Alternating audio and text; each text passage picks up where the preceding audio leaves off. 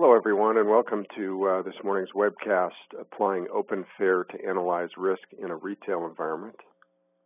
I'm Jim Hietala with the Open Group. I'll be uh, hosting the event today, um, and I'll be talking very briefly at the start, just giving an introduction to Open Fair, the risk taxonomy standard, and the risk analysis standard. I'll be followed by Jim May and Bill Estrem from Metaplexity, who will be talking about using Open Fair to analyze risk in a retail environment.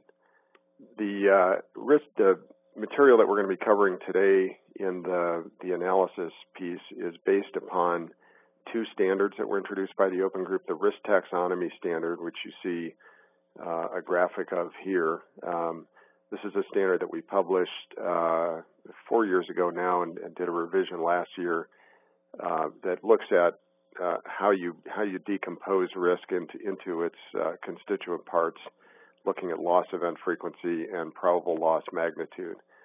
Um, so I'd encourage you, if you've not seen the risk taxonomy standard, to get a copy of it from our website. Uh, it's free for uh, for folks to download from the Open Group Publications page. Uh, the companion standard to the taxonomy standard is called the Risk Analysis Standard.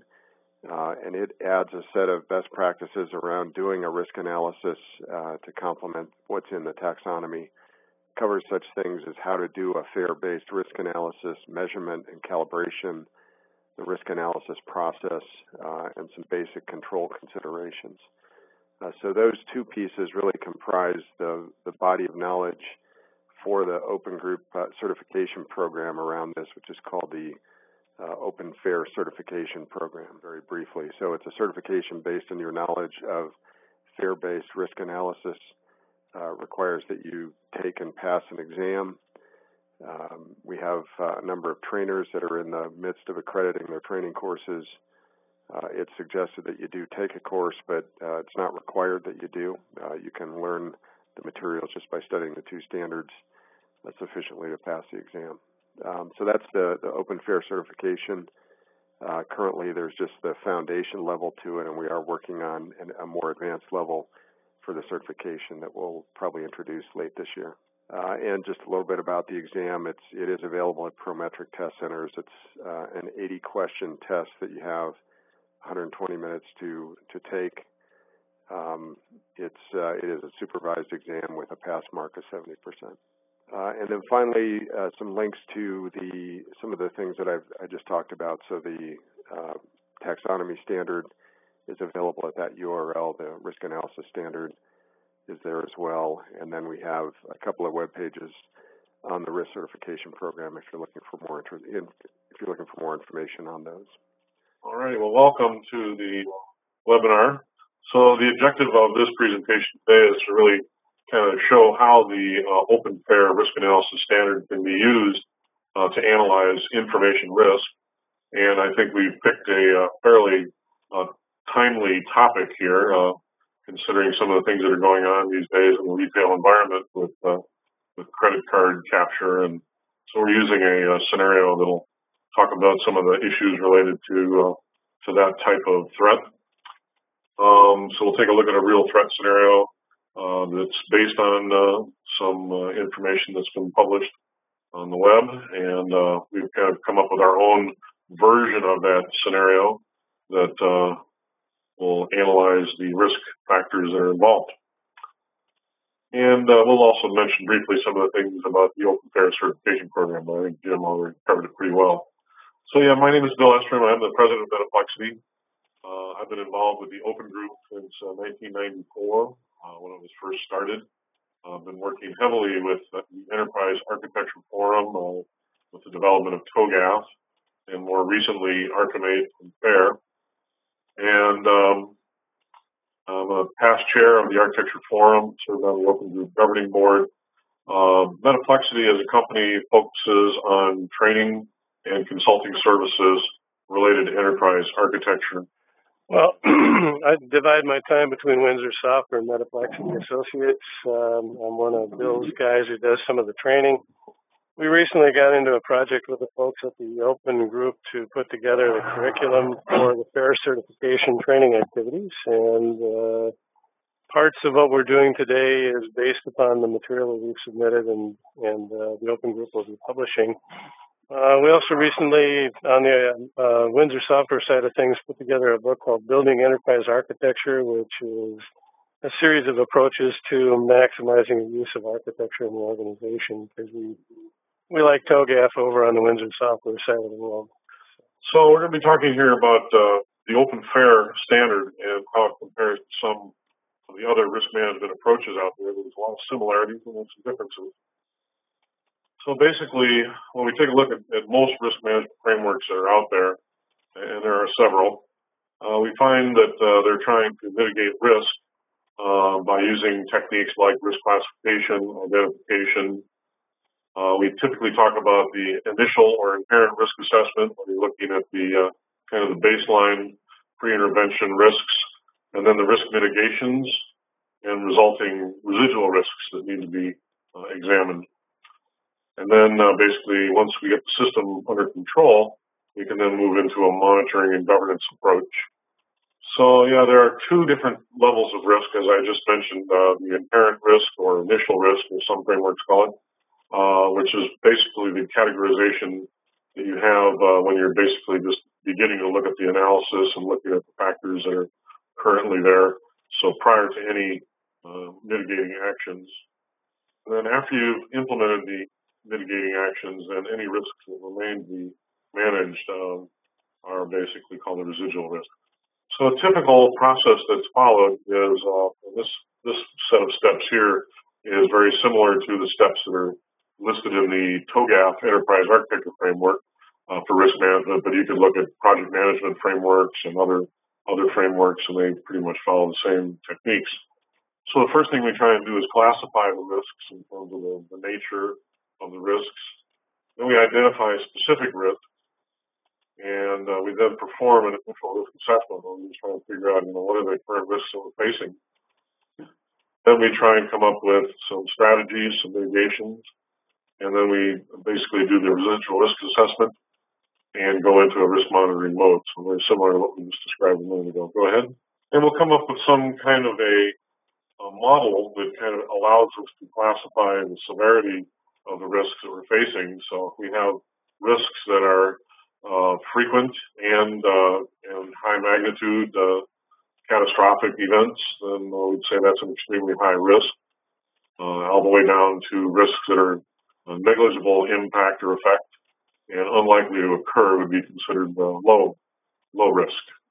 And so each company can really determine their own um, risk framework in terms of uh, how they classify different events and what level they assign different uh, things in terms of catastrophic or or high levels, things like that. And then you can have some kind of a table that you can use to just kind of keep track of uh, risks. So here we have uh, credit card data loss, and uh, the effect obviously for a company and for its customers would be critical.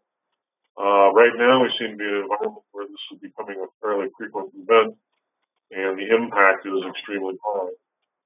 So the mitigation would be to implement a set of security practices, and uh, and then we would hope to, by doing so, uh, drive down the frequency and uh, hopefully also reduce the the effect to a marginal level, which would then uh, make it a lower risk or low risk. That would be the goal. So basically, once these residual risks have been identified that still cannot be managed, uh, some frameworks, like for example TOGAF, uh, recommend that uh, your governing uh, group for your enterprise architecture or IT governance uh, organization should basically take on those residual risks, approve them, and make sure that they are being properly managed. And the mitigations should be carefully monitored to make sure that the enterprise is dealing with with residual risks rather than than uh, only fixing the initial and inherent risks. So the open fair standard, as Jim already pointed out, uh, is composed of two parts. We've got the uh, risk analysis standard, which gives you a method for doing risk analysis, and then risk taxonomy, which basically defines the term and provides a structural model for the uh, risk analysis framework. So together, those two standards are the body of knowledge we call open fair. And as you look, you can kind of see the different areas we're trying to manage here. We've got various types of threats that are out there. Uh, we talk about several different types of threats in the FAIR standard. We have assets that we're trying to protect in order to minimize losses, and we then have a set of controls that we can implement that will help us do that. So again, the Open FAIR standard defines risk as the probable frequency and magnitude of future loss. So we're dealing here with probability, not just possibility. I mean, it's possible just about anything can happen, but here we're talking about a numeric uh, a measurement of the probability of an event occurring. So yeah, nearly anything in, in life is possible, but uh, we try and, and make it uh, so that we can actually do a quantitative analysis of the po probability uh, rather than just the possibility. So in the open fair standard, uh, you'll see that we follow basically a four-step approach. Uh, the first stage is to identify the scenario components, and you'll see the model for this. Uh, actually, Jim already showed you a, a basic model of the open fair taxonomy. Uh, so you'll see how we populate that. Uh, basically, the two major components of the taxonomy are the loss event frequency. That's the stage two analysis. And stage three is to evaluate the loss magnitude. And then based on those two factors, we can derive and articulate risk in the final stage. This can be repeated uh, for several different risk scenarios. So you don't just do just one threat. You might actually have in a typical scenario or a typical risk analysis, you might actually analyze multiple uh, threat scenarios to try and get some kind of an aggregate idea of the amount of risk that you're facing. Um, what we're about to walk through is a condensed version of what we've done as the case study that we use in the training that we do. So our case study is called the unfaithful contractor. Uh, this would normally be woven in in segments in the training. It's a two-day course. And what we do is we base this on the overall taxonomy in doing this, because we have the ability to, because it's a hypothetical, we have the opportunity to create uh, uh, transit of the main factors at the lowest level with contact frequency. And you see them along the bottom here, contact frequency, probability of action, threat capability, resistance strength, asset loss factors, threat loss factors, the organization and external loss factors. And we populate a model uh, and we show how to populate and do the estimates in it. So today we'll do a slightly abbreviated version of that. And we'll be open to questions as uh, we go along. Post your questions. We'll try and get to as many as we can when we're done. So in this case study example, we're starting out with a real threat with some ability to estimate loss event frequency and a semi-real loss, a simulated loss with some possibility of estimating loss magnitude.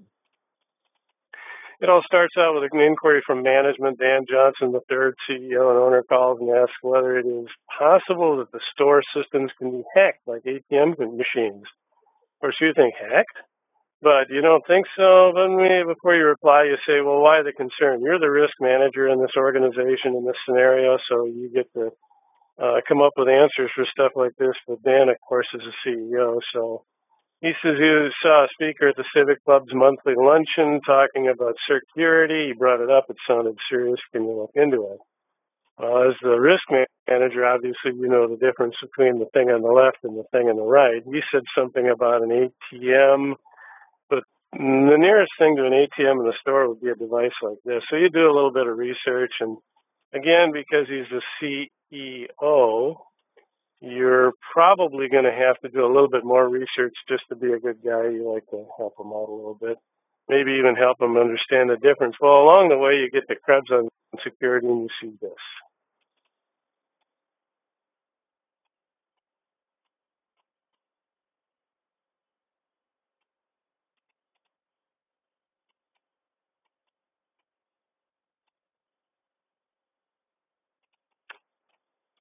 Uh-oh. What is that? This is uh, straight off of Krebs on security. It happened, it got posted on December 2nd. We've got Brian Krebs' permission to use this as part of our training. And what looks like a little bit of cell phone video shows a shell being removed from the top of a very commonly used uh, card reader. So we might have a threat. Now what? Mr. Johnson always asks two questions. What are the chances this might affect us? And what's it going to cost us if it does? On stage one, when we set up this scenario, we try and figure out what are all the factors that are going to be possibly interrogated in an analysis like this. And it can include quite a wide variety of different areas of, of inquiry. The store is a group of stores. There's about 40 stores in the chain. They're regional. They do all for $5. Uh, they have stores, store staff, management, point of sale systems, things like that the store exists in an actual environment that is a community of, of users and competitors and things like that. The store is hoping to you know, open four more new stores in the next couple of years. It's all um, it is all uh, privately owned, and uh, so we have some factors in there that uh, might be worth considering in the event a loss occurs. In stage one, the outputs that we're going to create will be the asset at risk. We need to identify, we need to say what that is. And we can look at risk, but the risk ends up becoming this completely blurry problem until you get a focus on the asset, and then you can start taking a look at the things connected to that asset, uh, related to that asset, associated with that asset. We also look at the threat communities. Who might actually be this threat? Who are these people involved, and then the loss event. What's it look like? So in the case of the scenario we put together here, we said, well, we've got some facts here. Uh, threat, threat of uh, credit card information by the point of sale skimmer. skimmer. Um, we're going to say in this case is contracted service personnel doing the work uh, that cause this. They're placing and removing it. They're, they're, they come into the store. They do their regular maintenance on the equipment and uh, maybe they drop the shell on top of a reader once and then come back 30 days later in their normal maintenance cycle and remove it. Um, in and out, data has to be harvested. Since you're removing the device, you're going to have to harvest the data and you're going to have to do something to complete an exploit. And uh, some feeds and speeds, maybe 140 customers a day per checkout lane using credit cards uh, as their transaction choice. And cards is a mix of credit, debit cards, which are commonly understood, and then what we call uh, electronic benefit transfer cards. That's a United States um, form of card where uh, people get a direct payment for social programs from the federal government through the card, and that has extra regulatory requirements in order to be able to accept those. So there's some interesting possibilities here. So the, the, in terms of the outputs at stage one, there's a lot more detail that would normally go into this, but we're we're doing this for time's sake. We say the asset is the point of sale systems that that shell sits upon, and then of course the all of the elements in this scenario radiate from a certain point, and this is the probably the furthest point that the company actually owns. Uh, there, there are other assets involved. Uh, there's the credit card number, which is an asset held by the bank that does the, the clearing of the transactions, and you have a relationship with the credit card clearance organizations and obligations that are related to that. But the, the one thing you own is the POS system, and so that's just a an arbitrary choice. The loss event is theft with exploitation of credit card data by POS skimmer theft with exploitation, that means that something actually has to happen with someone's credit card number. Uh, simple theft may or may not be the fullest extent of the loss.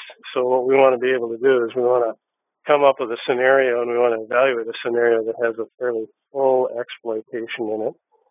The threat communities would be an extended chain of persons, beginning with a contracted point of sale maintenance staff, all the way through the people who exploit the fraud if they're not showing up for work and doing their part of it, then the full exploit doesn't occur. So we have to develop some understanding or have some estimate of what their capabilities are as well. Otherwise, we don't have a fully uh, realized exploit. Moving forward to stage two, we start what are essentially a series of comparisons. We're going to evaluate a series of uh, factors and these are probability factors. We say what's the probable threat event frequency, and that's based upon the contact frequency and the probability of action, which we'll talk about very briefly. We talk about the vulnerabilities. So the threats and the vulnerabilities uh, oppose each other to resolve into a loss event frequency, which you see at the top there. And vulnerability is based upon the capability of the threat. Uh, are they strong? Are they weak? Are they random in their capabilities? And are they, is there enough resistance strength to resist at least some of these threats? Now, what we're doing as we do this is we're looking down the left side of the taxonomy. The loss magnitude is grayed out on the right side over there. And what we'll be doing in stage two is we're trying to come up with some frequency. Risk is expressed, to reiterate what we said about risk earlier, is it's, it's a two-factor expression. The first factor is actually the loss event frequency. That's how often something might happen in terms of a loss event, and that's expressed as a frequency with a usually a range of probability from a low to a high, and a most likely. And then loss magnitude is a generally a financially um, numerated dollars or euros or whatever you've got, and that would be the loss magnitude is expressed as a financial loss, and it's got a low and a high and a most likely figure and uh, uh, some kind of an expression of confidence. So risk never really gets turned into some amalgam of numbers that have to do with loss frequency and loss magnitude. Risk is expressed as those two numbers in, in FAIR. So to get to loss event frequency, we make a series of what might be considered paired comparisons. We compare contact frequency and probability of action. We also do a comparison or association between threat capability and resistance strength to come up with vulnerability. And in our shortened version of this, we talk about, as an example, we look at loss event frequency. Well, how often might a threat make contact with an asset in question? We call that the contact frequency. And then how often might that threat actually take action once contact is made? Uh, threats can very often, in a retail environment, enter the environment and do nothing or not take action for a variety of reasons. There may be controls in place, and there may be other uh, reasons uh, why it doesn't seem obvious to the threat that something might need to might be an opportunity to exploit. So there are a lot of reasons why that might they might not take action. So it's this combination of the, the frequency of the threat arising and then the probability that they'll take action that actually gets resolved into the threat event frequency. And, and here we would be looking at in terms of contact frequency. We won't do threat event frequency. It's or the uh, we won't do the uh, probability of action. We'll just do the contact frequency for this one. Uh, dishonest technician working has a shell. They only have the one in their bag because that's all they could afford. They got it on eBay or they get the skimmer shells. 30 days dwell time to capture the card numbers. Uh, they're exclusively working for the $5 stores, so every time the exploit happens, it's going to happen to that store. They have normal leave, holidays, and vacations. And now Open Fair works with time-bound ex- estimates. So what we're going to try and figure out in this one is you get to choose how what your time binding is in this, but we're going to say a year. That's typical. How many times in a year would they repeat this threat? So you'd come up with a rationalization. In this case, to document what we did, what we said about our, our assumptions are, we say the scenario assumes a single dishonest employee with a single card skimmer device. The employee is generally assigned to a small group among the 40 all $5 stores. They work exclusively on this contract. They get time off for leave, vacation, holidays. They may be in the store more often than once a month if other work is being done. They may be in the store more or less often if they're reassigned, sick, or other issues come up. And here's where this goes. As we're doing the documentation, we've come up with an estimate of contact frequency, and we said minimum six times a year, most likely about 11 times a year because they go on vacation. Don't like leaving things like that behind on the vacation. Maximum, possibly 14 times a year. And that would be probably a shorter time in a particular store. And the con- confidence, we know they're assigned to the contract because we did a little research. We looked into this to see what the likelihood was. We looked at our contract and possibly contracted the con- contacted the contractor. So we have our rationale. We've written it down and we've included it. So we not only have the numbers, uh, we have a, a rationale behind the numbers associated with it. We keep this stuff together. We're beginning to build the case and we're beginning to build the, the rationale. Probability of action uh, we've skipped, but minimum, most 20% shot that the person would take action when they walk in the store with this shell. most likely about 70%. They know the store systems, they know where the cameras are, they know the managers in the back room, they're in the store, possibly outside of store hours, so there aren't employees watching them. So unless somebody happens to walk up on them that's a store employee, they got a shot at getting it done. Maximum probability, 90% shot that they'll get that uh, reader shell placed. And of course, we also are looking at the retrieval side of that as well. Confidence, pretty high. We think that we're pretty sure that the uh, the guy's going to have enough eyes that they on their head they're going to be able to look around. They're going to be able to tell when it's safe to snap something like that in place. As you saw, it was very quick to remove that shell. Um, and that's one of the things we know based upon actually looking at the thing being placed or removed. So at stage two, the other side of threat is, is loss event frequency. We know we want to compare threats and we want to compare the, um, we want to understand the threat capability versus resistance strength to understand vulnerability. So we say we've, we've figured out how often the threats are coming up. Now we're going to see how often the vulnerability might arise. So we, to do that, we say, what's it take to convert a threat into a loss? Threat capability, the actual capability is more than simply coming in and as you see here in probability of action, dropping the, the shell and even retrieving it. Because there's a chain of events that need to happen. We have to think about what the, the chain of events is and we need to document that. So the threat capability may not necessarily be as great as the probability of action. It's usually something less. So what might present, prevent a loss in the scenario?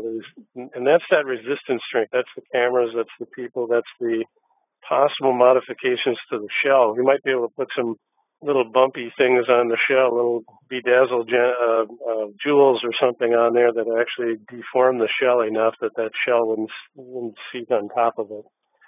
Um, how likely is it that all the steps will align and this loss will actually occur is called vulnerability, and that is the comparison of the threat capability and then that resistance strength, the, the strength to resist the capability of the threat. And when we document it, we would have a rationalization. In the case of threat capability, the rationalization might be for the threat to be fully realized, they must sell the data and the consequence must ensue. A chain of actions by a group of actors must run to completion, and that means, again, capability is lower than the probability of simply taking action. Vulnerability factors are then documented using minimum, most likely, maximum, and degree of confidence. And we say it's got to be, you have to sell the data, consequence must ensue, and so forth. And then the resistive strength or the resistance strength is uh, minimum maybe 20%, most likely about 60%. Again, uh, having to do with the fact that the person understands the store operations and has a sense for when to take action. The resistant, resistance strength might be pretty low.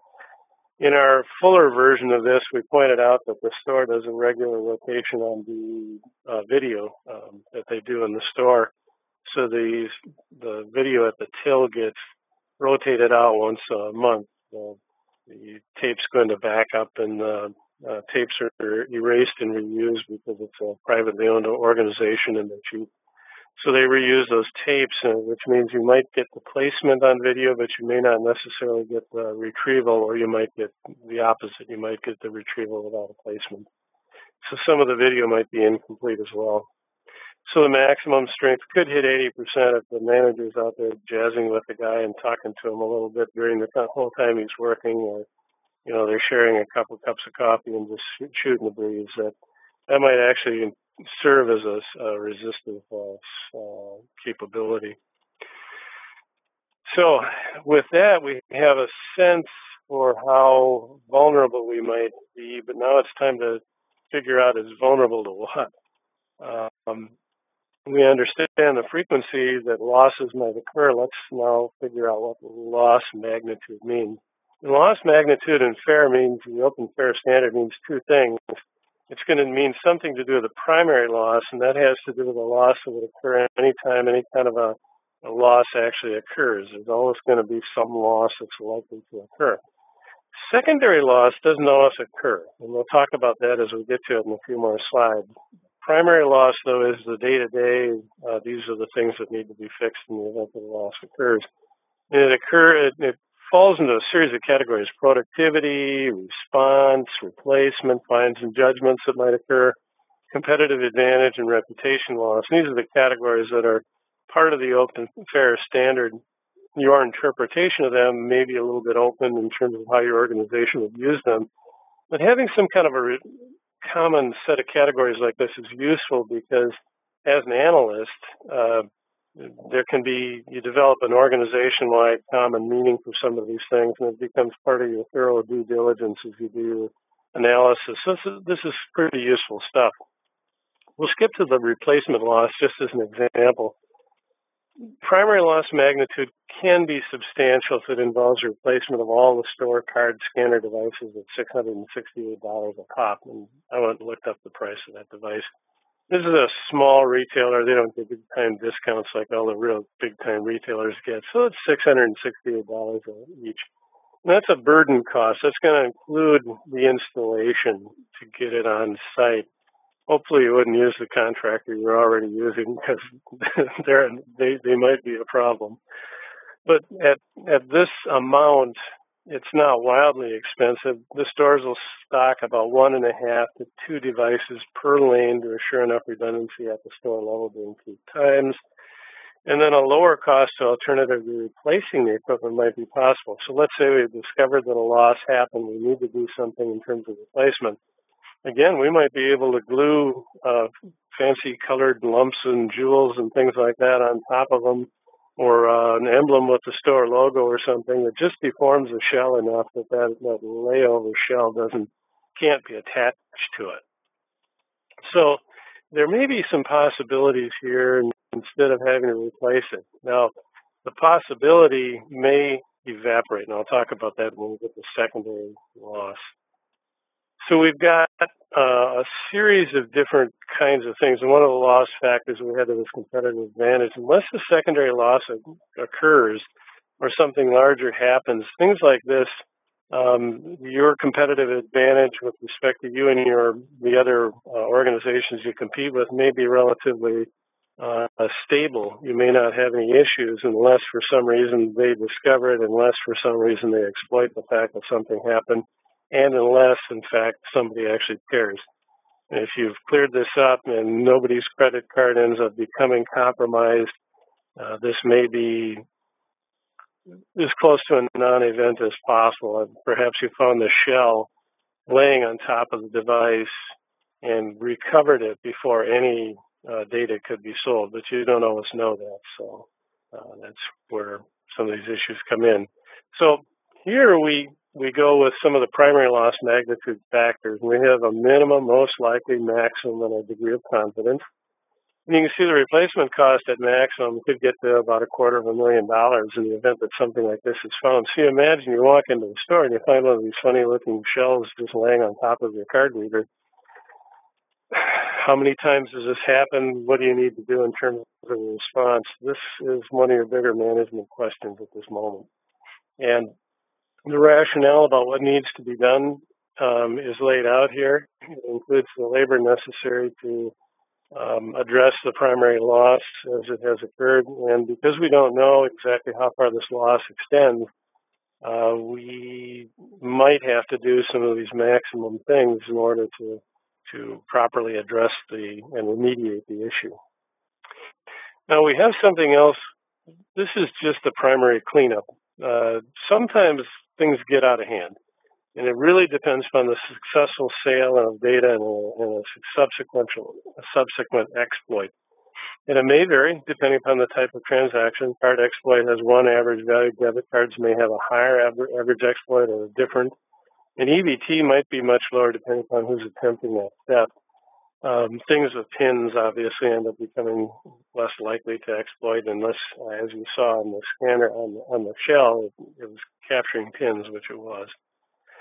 But at the very least, the secondary loss event frequency here is estimated to be the overall loss event frequency minus about a 10% chance that you might get lucky and not have a problem. So there's a 90% chance that this is going to become a secondary loss.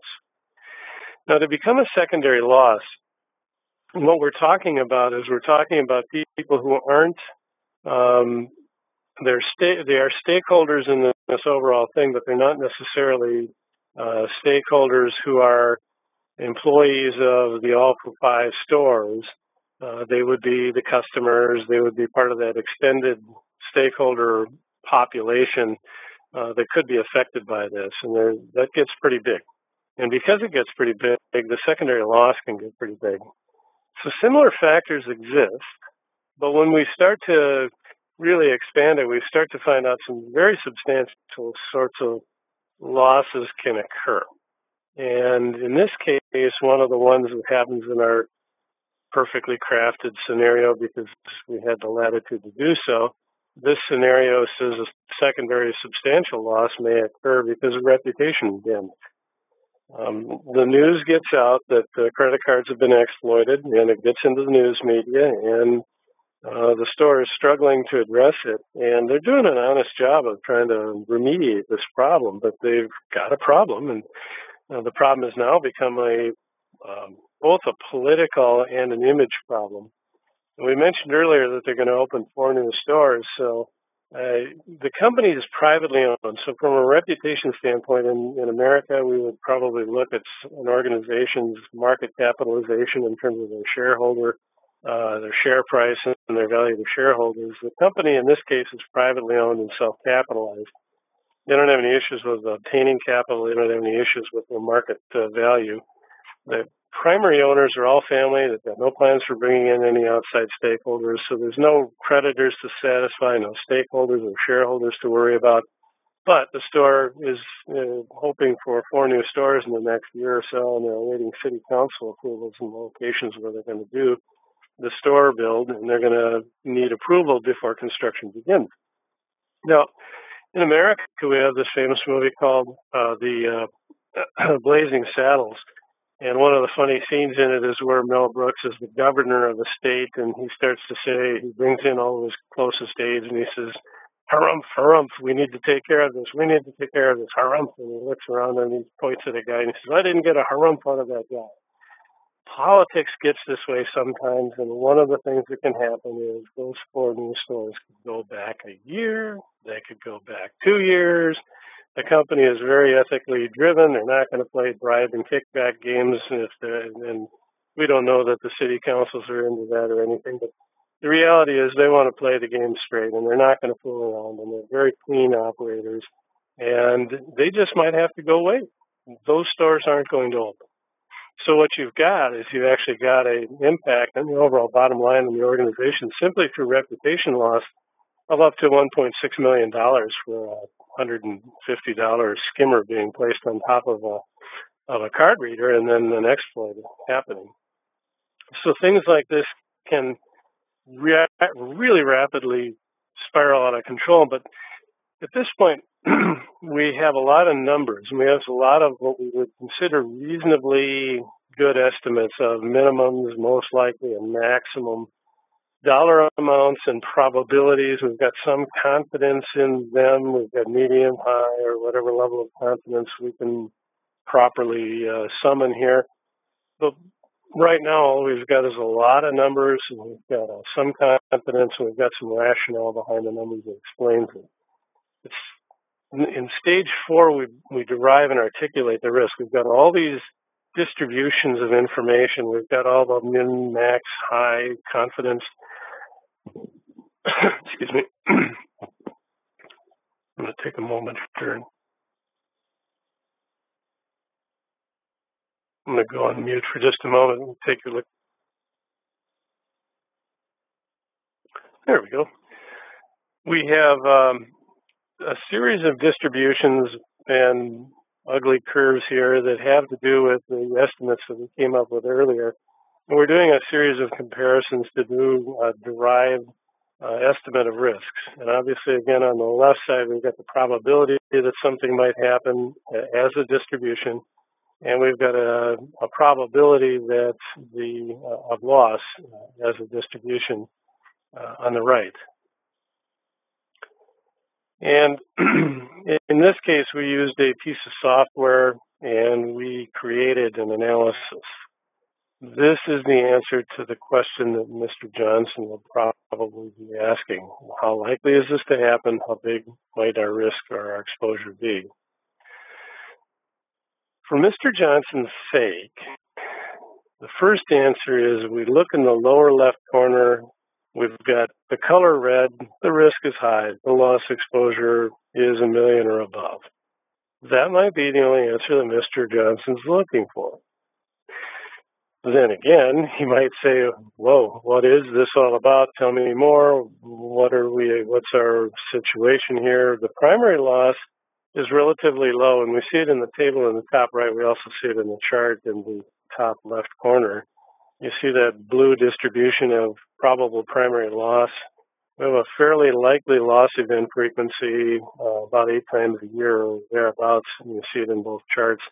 And we've got a distribution of losses that doesn't peak much more. Uh, it goes up to uh, less than a hundred thousand dollars at very max. It's just over a hundred thousand. But then all of a sudden, this is a log scale. You see the red splotch, which is the secondary loss, and we have secondary loss not occurring quite as often as primary loss, and that's why the secondary loss is slightly to the left in the chart on the top left. It's slightly to the left of the blue in the primary loss.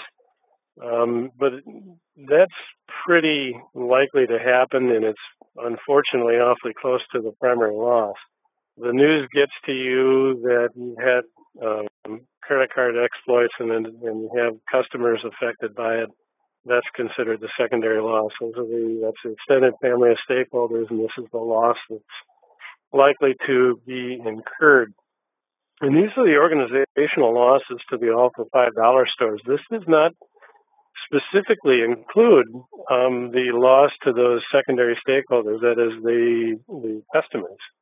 So this is a pretty ugly loss for the the company, and probably an even uglier loss for the extended family of stakeholders that are involved here. So this is how this would look. It's actually a series of things that have been put together for the purpose of this presentation. You probably wouldn't present it this way to management. And that rounds out the basic analysis in our abbreviated version. we say, I think we can give this back to Bill for, uh, for summing up here. I'm going to go on mute, and if Bill wants to go off of mute, we can have him do some summary work there. Slide. Uh, I heard the word slide. Yeah, would you take it back one slide? Yeah, I just wanted to say a little bit more about this.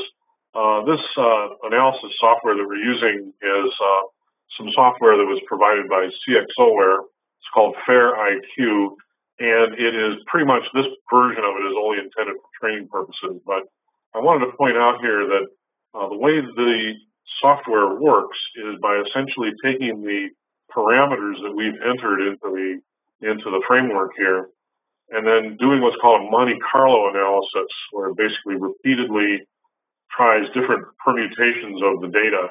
Uh, and through this this particular case, we're doing 3,000 iterations. So what you're seeing over here on the on the left hand side, uh, the uh, chart that shows these two little clouds, that represents kind of a scatter plot of the primary and the secondary losses that we calculated in each of these iterations. So that's a key idea that's used in the open fair standard is this idea of using the Monte Carlo analysis to basically estimate the probable uh, values uh, through different combinations of the uh, of the variables that were added. So, and then you see over here also a plot that shows the uh, uh, distribution in terms of the cumulative risk exposure and, um, and a histogram that just shows the likely uh, cumulative distributions of uh, events. Okay, uh, going back to the summary itself. Um, so as we mentioned at the very beginning, uh, according to the Open Fair standard, um, risk is the probable frequency and magnitude of future loss. And so that's really what we're trying to do here. Open Fair is a standard for analyzing information risk. And um, so there's certainly other frameworks out there that can be used for doing risk analysis. And uh, Open Fair is not intended to compete with them. Uh, Open Fair is intended to be complementary to those types of standards. So somebody was asking me earlier if this was a, uh, replacement for COSO or or something like that. And obviously, you know, COSO is looking more at financial risk. Uh, you have also the PMI has its own risk management framework. Uh, TOGAF has its own. So there's several different organizations that have risk analysis frameworks. And so I don't think open fair is intended to replace any of them. I think it's intended to be used where it's appropriate. Uh, next slide, Jim. So we've, uh, you skipped one slide. Thank you. So basically, we've looked at, you know, some of the common risk methods. Um, some analytical frameworks are possibility driven. They use more of a um, approach where you're not only looking at empirical data, but you're also allowing the analyst to have uh, subjective interpretations and um, limited quantities of data where you're measuring uh, the nominal values of things and resulting in, in ordinal uh, estimates. Uh, Open Fair tries to do more of a probability driven approach where you're using the actual uh, estimated uh, outcomes uh, without a lot of subjective weighting. it gives you an analytical framework that allows you to apply these variables and make iterative comparisons using that Monte Carlo method that we were just talking about. Okay, Jim. So as uh, Jim Hietala mentioned earlier, uh, Open Fair Foundation certification is currently available. We're working on developing the certified level, or what I think would be called certified level. It's typically the case. And if you wish to get certified, uh, you can certainly contact the Open Group and, and Jim for more information. Uh, the Open Group website uh, has information about Open Fair certification. Uh, you definitely just have to take the exam, and uh, you can either self-study uh, or you can go ahead and um, uh, take a training course.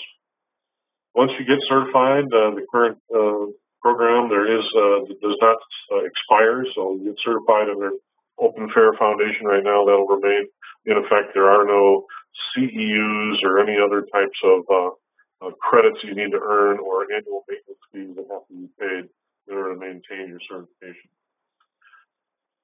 Okay. So at this point, Jim, I'd like to um, give the floor back to you, and if you want to lead the Q&A section, we'd be glad to answer some questions. Great, thanks, Bill, and thanks, Jim, for for the presentations. Um, yeah, happy to to uh, post some questions and and uh, get your reaction and answers. Um, to expand a little bit on the uh, question about, you know, is fair a replacement for other risk frameworks? Um, you, know, we, we, we see it as a, uh, uh, a solution really for doing risk analysis uh, in a way that's complementary to, uh, you know, COSO ERM, which is mentioned, but other risk frameworks, things like ISO 27005. Uh, in fact, it's worth mentioning that the Open Group published a couple of years ago now a white paper that's really a cookbook that shows how do you take um, open fair and the risk taxonomy standard and plug it into an ISO 27005 risk management framework. Um, and uh, th- that's been a very useful thing. Actually, one of our members, a large aerospace company, uh, had the need to use FAIR and uh, uh to uh, put it in the context of ISO 27005 and led the development of that white paper. So you can find that out on the Open Group website. Uh, and we're open to doing other other such mapping white papers. Uh, in fact, one of the the uh, attendees at a recent fair course uh, wanted to to submit something he had done that maps uh, fair to COBIT, and so uh, we're looking at bringing that in and, and publishing it as a white paper as well. Generally, uh, you know, the FAIR methodology is a uh, a way to do risk analysis in a in a way that can be easily communicated to senior management. That's probabilistic, as Bill and Jim mentioned, um, and it really uh, goes a lot deeper than many of the the higher level risk frameworks that are out there. Um, let's see what other questions we have here. So uh, we can make a uh, copy of the slides available. We'll do that. Uh, we'll send those around uh, to everyone who's attended the, the webcast. Um, somebody's asking about uh, explaining more about how to read or interpret the chart or graph results. So, Jim, if you're controlling the slides, you might want to flip back to uh, kind of the summary graph slide, and, and if one of you want to talk a little bit to how to uh, interpret or, or, read those results, that would be great. Yeah, the um, the general output here, the look of it is following along what might typically be a Monte Carlo analysis. And like I said, it's actually got a bunch of stuff all clustered together. This is actually clipped out of a PDF that's generated by the software. So I don't know if you can see my pointers. Jim, are you able to see my pointer? Yeah, we can see it, Jim. All right. So right here, this is this is in a graphical format, primary risk and secondary risk. Again, secondary risk is a risk that may or may not occur depending upon uh, the event itself and the likelihood of it occurring. So secondary le- risk is a little behind primary risk in most of these analyses. This is a logarithmic scale, as you see, and this is a, a simple default of the software. It wouldn't necessarily have to be this way, but it, it helps see things a little bit better. Um, distribution here is being shown in terms of a loss event frequency in a fairly narrow bandwidth. So what we have is a situation we have a number of uh, identifiers within um, FAIR that help characterize this sort of a uh, distribution. But uh, this is showing that it's a fairly likely probability as we go right to left here. It shows that the pro- even though it's fairly likely to happen, it's got a fairly tall distribution of of loss. So even in the primary loss, this thing could go from something relatively small, as you notice here, it's below a thousand dollars to remediate. That's the part where, because you're the all for five dollar store, you tell people to go in the back and decorate the daylights out of their uh, uh, point of sale equipment so that something like this can't be placed upon there. Um, you know, you you identified this as a threat. You went into the stores. You took a look at the equipment that was in there. You determined that no shells were present at the time because you saw this on Krebs, then maybe all you did was do the modifications and uh, the communications cost and the cost of the little uh, uh, uh, bedazzling designs or whatever you call them um, is right there. Um, if you really get into a more expensive response, or you do something more elaborate, or you um, extend your video capabilities in the store or something like that, there may be some additional remediation costs up here. so that's that's why the distribution looks the way it does. When you get into a secondary loss, it's probably going to be a little bit more around like this. You've got uh, a range of probabilities of secondary loss occur, then you've got a range of costs, and they do tend to get pretty high. And that just has to do with the nature of secondary loss, where the extended family of people out there who are stakeholders in this uh, are affected. This is, uh, as Bill was saying, a, a, scatter plot based on the 3,000 iterations that we that were done. This is student software, if you will. It isn't as many iterations as you normally would do. It is based upon those numbers that we saw in our earlier uh, tables of information. So what it's doing is it's taking samples out of these numbers here in the secondary loss I'm showing, and then it's doing some things to estimate what the shape of the curve is that is associated with that. And it's pulling samples out of this and it's using them as part of the components when it does uh, roll up of um, risk. So to get to the primary uh, loss event frequency and then to get to the primary loss and the secondary loss. Are we over answering this question at this point? Anybody want to hold up their hand? Um, yeah, I think we're. We can go into that. this. I mean, yeah, if people want to call and talk to us about it, we can go into quite a bit more about how this works. Yeah, there's a couple okay. more questions. I think.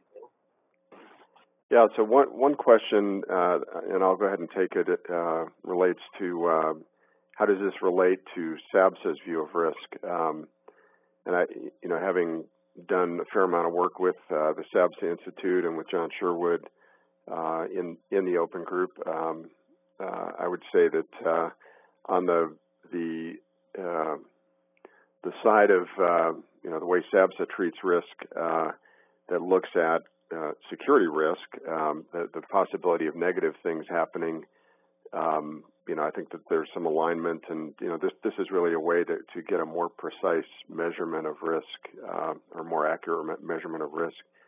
Um, you know, given given a, a, a certain risk scenario, uh, there is a notion in SABSA of a positive view of risk that that really isn't encompassed in FAIR. Um, that looks at uh, you know really the opportunity side. So you, sometimes you in business you take a risk in order to achieve a benefit, and uh, that SABSA concept um, you know certainly applies in uh, you know in the broader risk context, uh, but isn't really addressed in in FAIR. You know, FAIR really is looking at just doing a good job of measuring um, those possible negative consequences and what the uh, you know what the impact of those will be.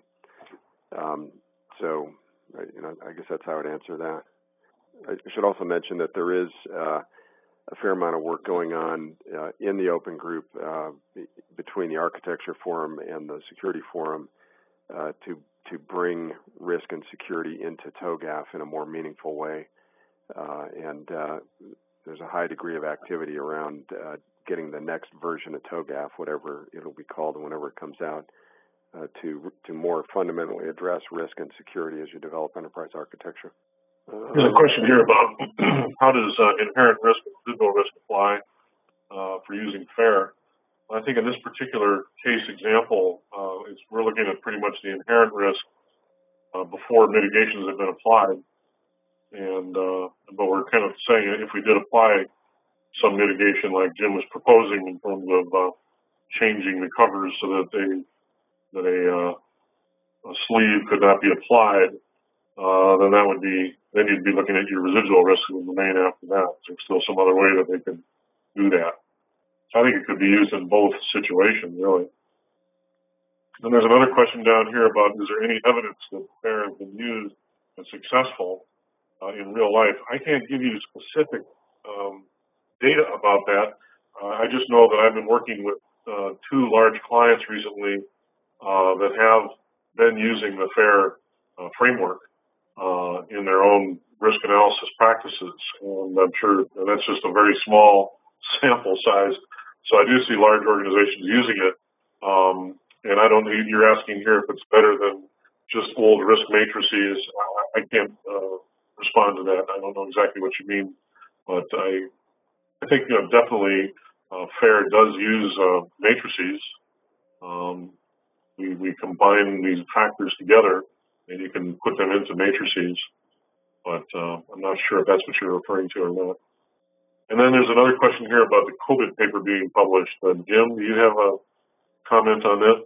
Yeah, I would, I would expect, given our um, timeframes to do these sorts of things, that, that that's probably something that comes out maybe in uh, Q4 of this year.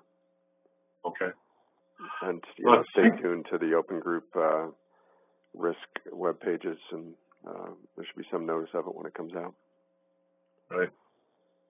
And uh, so that's, uh, I think, all we have time for. At the yep. end of our time. We're right at the end, and uh, so thank you, Jim and Bill, for uh, for participating, and thank you all for for uh, tuning into the webcast. And you know, stay tuned. We'll have more webcasts coming up on the topic of risk over over the rest of this year. Take care, everyone.